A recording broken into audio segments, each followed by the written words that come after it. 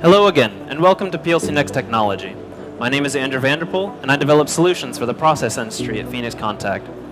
Today I'd like to tell you about an application in predictive maintenance that we're doing together with the Technical University of Dresden for BASF Schwarzheide. TU Dresden, BASF, Phoenix Contact. Research and industry, hardware and software. Three different players from different backgrounds and different project requirements. In the next few minutes, I'll tell you how PLC Next Control was not only the basis of this project, but also the adapter, the connector between these three very different players. But first, let's meet the project participants. In the middle is Tilo Glass. He brought the technology and know-how of Phoenix Contact into the project. On the right is Dr. Markus Graube. He's doing the programming together with the colleagues from the TU Dresden. And on the left is Dr. Thomas Maiwald. He's leading this pilot project from BASF.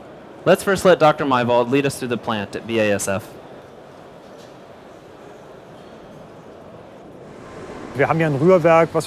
We have an agitator, which we monitor. It has a container height of about 14 meters, with a power transmission connected to an electric motor and a gearbox. The speeds are naturally very low. Basically, these agitators are very important to us. We need them. And a failure of the agitators would need an enormous amount of effort to fix. Even a quick repair can take weeks, or in the worst case, months. And in this time, the plant would not be available to us. And that would be a catastrophe, of course. In order to reduce downtimes to a minimum, potential problems need to be found as early as possible. Predictive maintenance is a tool for finding failures before they occur. But what role does PLC Next Control play here? In order to tell what condition the agitator is in, we monitor the motor currents. An EMM motor manager is connected to the motor of the agitator. It measures the current data and transmits this data back to the PLC. There, an algorithm makes an analysis of this data. And finally, it's sent on via OPC UA in PADIM format to the employees at BASF. By monitoring the motor currents, we're able to tell what condition the agitator is in. Maintenance windows can thus be optimized, and potential downtimes reduced to a minimum. In this project, PLC Next Control is the translation platform, the basis for data exchange, the adapter between man and machine. But very often, the most interesting part of a project is during the development process. So let's go back to TU Dresden, where our application is being developed. The algorithms developed for this application include MATLAB Simulink models. These models are easily integrated due to the openness of the PLC Next technology ecosystem. The controller can of course be programmed in traditional industrial programming languages such as IEC 61131, but also high-level languages like C Sharp, C++, and Python. The integration of these high-level languages and MATLAB Simulink models is made easy due to the flexibility of the PLC Next control.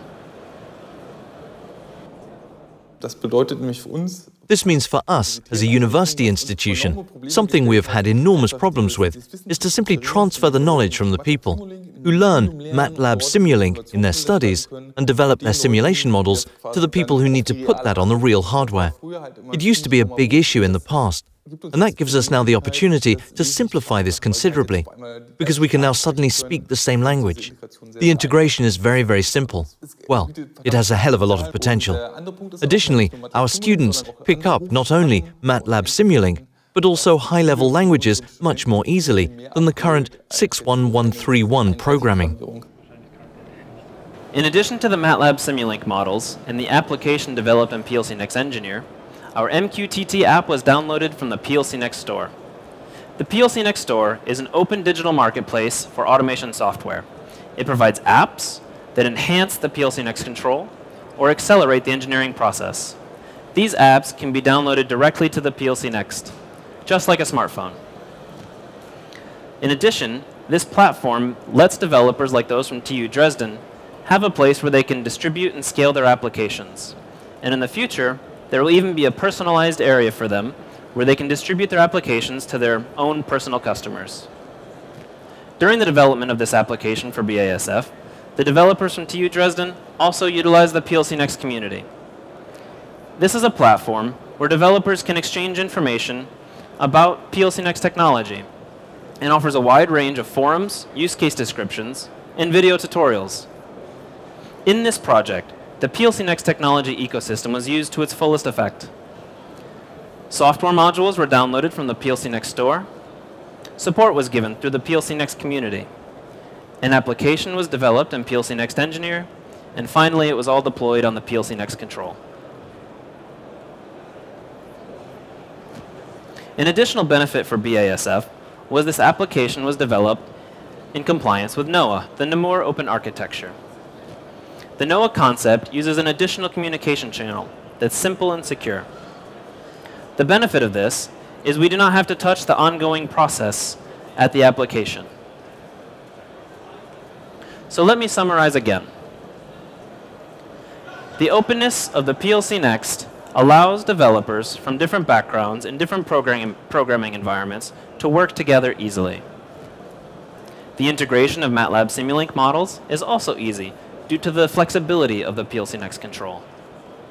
And finally, this application was developed in compliance with NOA, so the ongoing process did not have to be disturbed. Whether in the process industry, in research, or other different areas, PLC Next technology can help with your automation challenges. I invite you to visit our other applications we're displaying here. Up next, you go to either Switzerland, where they are clearing tracks of vegetation, or head down to our beer bar. And I really would like to invite you to visit our workshops in the back, talk to the real experts, and learn more about PLC Next technology in detail. Let's rethink automation together. Thank you.